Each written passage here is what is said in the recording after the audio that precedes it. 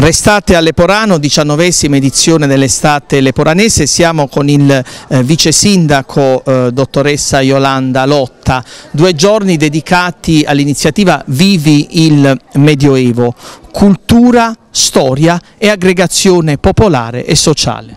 Sì, in questi due giorni c'è stato veramente di tutto, ci siamo immersi in questo contesto storico eh, in questi due giorni, eh, vivi il Medioevo, ieri c'è stata una sfilata, eh, tutti in costume d'epoca e eh, oggi invece ci sono eh, diciamo, questi campi dove eh, rappresentano proprio il momento storico.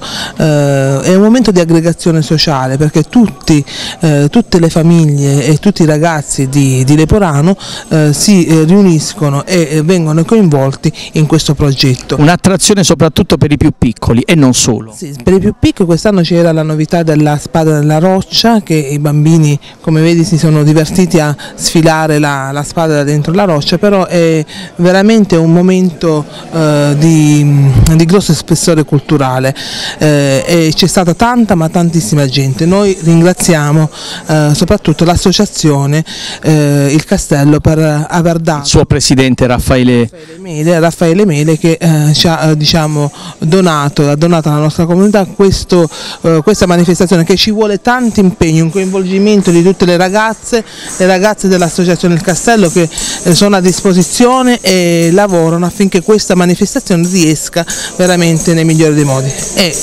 visto il risultato siamo orgogliosi. Restate a Leporano. Restate a Leporano.